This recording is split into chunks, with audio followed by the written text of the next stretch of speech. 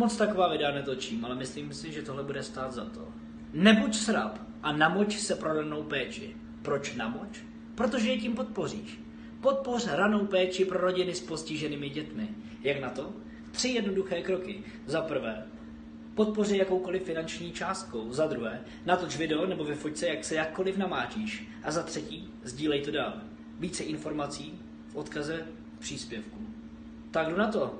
Peníze poslány, teď se namočit a sdílet to dál.